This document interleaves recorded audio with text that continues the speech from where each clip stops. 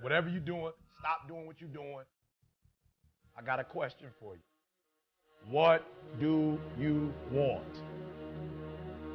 It's real simple. What do you want?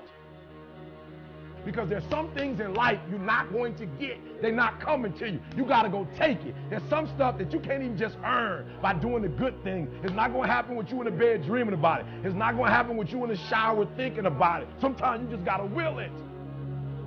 You can stay where you are. You can. But you can't stay where you are and try to go where you're going. So what sacrifices this year are you willing to make? Because there's somebody out there who wants your spot. Stand up. Do it again. He's very very deliberate, very strategic. I'm the entire week. You're very deliberate about Use your thighs. Come on. You're very deliberate about what time you go to bed. You're very deliberate about what you eat, what you don't eat. Why? Because every day matters. That's right. Every day matters.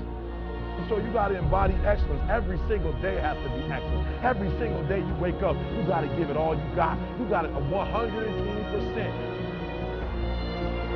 And so you got to change your mindset. We got to stop looking at pain as if it's something negative. All roads to success, you got to go through pain. When you travel down success, you got to go through the road of pain, baby. If it was easy, everybody would do it. It only takes one extra push-up. It only takes one extra mile. It only takes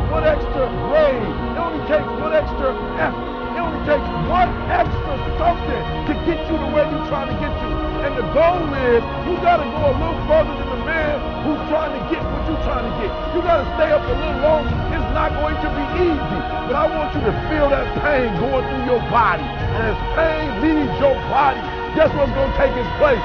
Success. You deserve to be a millionaire.